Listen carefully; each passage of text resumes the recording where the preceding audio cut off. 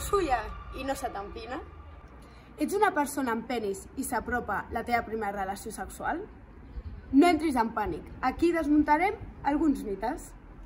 Si acabo massa ràpid, la relació ha sigut un fracàs. Error! Cada persona i relació és totalment diferent.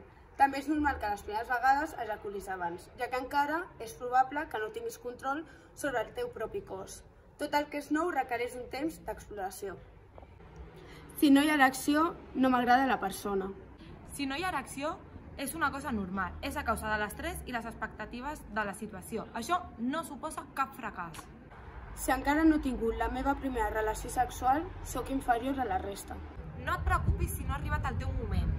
És important fer-ho quan a tu et vingui de gust i, sobretot, no perds el teu valor per fer-ho més tard que la majoria. Cada persona segueix el seu propi ritme.